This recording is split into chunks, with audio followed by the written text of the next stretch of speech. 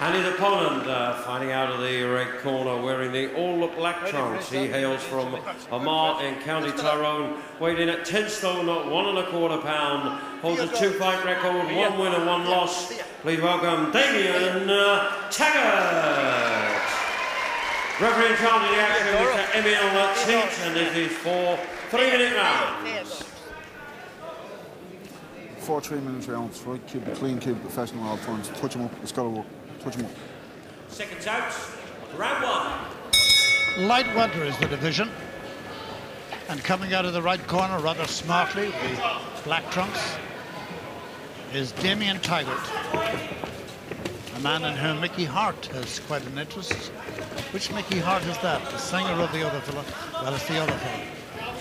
So if he can only transfer a bit of that Tyrone magic to this fella, he'll be some fighter. Opponent here is uh, from Russia, via uh, Latvia. He's punching way off the back foot there. That left foot dropped short.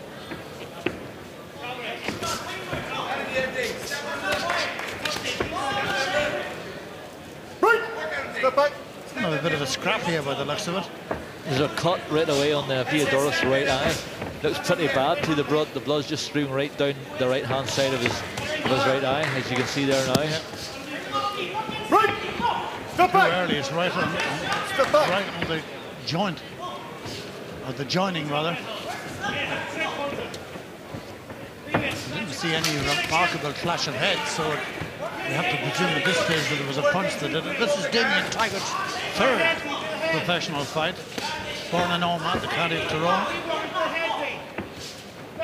And next week he'll be 26. He's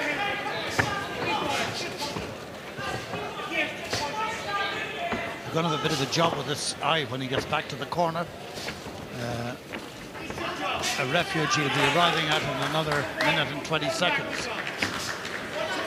Good punching from Taggart, Dave Boy. Yeah, he's doing pretty well, but uh, like Viadorov, like, it's- quite a, a, an evening match fight here. Like, Tiger's doing pretty well, you know, he's throwing some good, nice wee combinations. And Viadorov, he, he's replying, you know, with his own. So at this moment in time, I mean, there's not a big lot in the fight. Like, like uh, Tiger's sort of just stepping ahead slightly, but it's pretty close and a pretty well evenly matched, these two. Apart from Viadorov's like bad, badly cut eye, but it might look a lot worse than what actually is. You know, there's quite a lot of blood around it there, but it, once it gets into the corner, you get it cleaned up. It might not be just as bad as what it looks here on TV. At the moment, it's accurately described as a bloody mess. I say break, just step back. Step right back.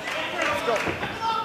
Last half minute of the round, and the blood is now being transferred to the body of uh, Damian Taggart. But I can assure you, there are no cuts on Taggart. It's just this uh, flowing blood from the eye of uh, Fyodorov's. Oh. Trying to get him back in his corner and try and tidy that up and see if indeed it is deep. You see a lot of blood flows in that area and it doesn't have to be a very deep or a long cut. But there's only one way and that's clean it up and see what happens then. Step back. Cut men used to be worth their weight in gold, so to speak, in pro boxing. Well, we shortly know, but I think the cut is just on the top of the eyelid, in which case it's a bad spot.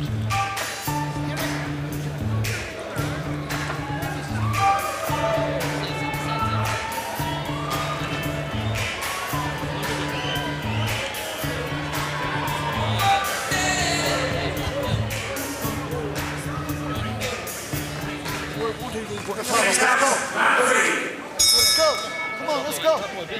Let's go. You're gonna have to snap your rope. Let's go. Now, my medical man, Dave Boy McAuley, what did they do with the eye between rounds there? Well, this time they put some Vaseline on. Uh, I don't know if it's Adrenaline 2000, but it was a Vaseline uh, tub, so there's a good chance it could just be Vaseline, which will help stem the blow, the, the of the blood like, uh, Step slightly, back. but Step that'll back. come off.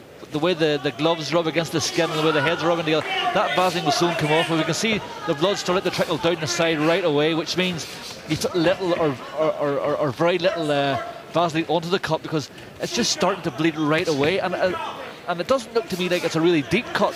But if they if these guys are any good in the corner at all, the, the stem of blood sh- should have been stopped you know, in the last round. But they're putting so little stuff on that they're doing. It's, it's doing absolutely no no good whatsoever. One thing about it, it's not flowing down into his eye. It's flowing where the thick cut is. It's flowing down just the Step back, step back. Step the back. right jutting right jaw. You see, it's not going into his eye, and that's a lucky thing. I was just reminded there when they were in the corner of the great Paddy Byrne. What a cut man and all Paddy was. That's, him? that's who I had on my corner. Like Paddy could uh, he could stop a gash two feet wide and two feet long. He was that good. Somebody said once that he could close the the uh, Grand Canyon. He probably could. He was good. He was a corner man, Paddy, of the top level. Still going strong. I saw him. He was involved in some promotion recently. Saw him photographing him in boxing news. Well done, Paddy. But you, this isn't a bad wee, wee performance here, like from uh, from Tiger. He- he's boxing well. You know, he's not a devastating puncher, but he's he's breaking this th- this uh, uh, the Polish guy Viador. He's breaking him. He's breaking him down. Like he, he's uh, picking away at him, scoring scoring loads of points. You know, and just wearing wearing him down completely. So it's a nice performance from Tiger. Like uh, he's been on the, uh, the the defense, you know, for quite some time now. But it's a pity this young man Tiger can't punch because if he could punch, he'd be inflicting a lot more damage right now than, than what than what he has been. But his boxing is good. He's set up nicely. Nice tight guard. Boxes like that. Hands well held up. Jabs good too. That's a nice good one-two. That's a nice good solid jab, pull up with a nice good solid right hand. It's it's very it's a very interesting fight, uh, quite an exciting fight. This because it's toe to toe. You know they're not leaving each other alone. You know they're on each other. They're never away.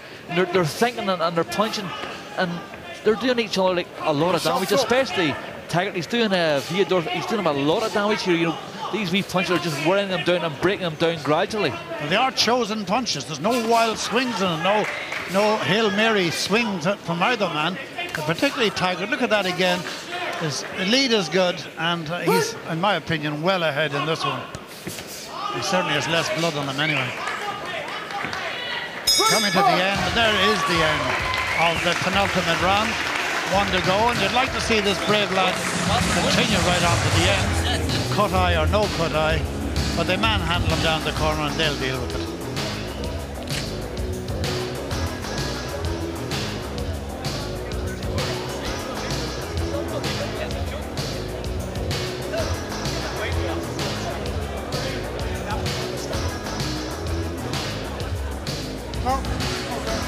Think this uh, referee, I think the doctor is displeased with what he's seeing.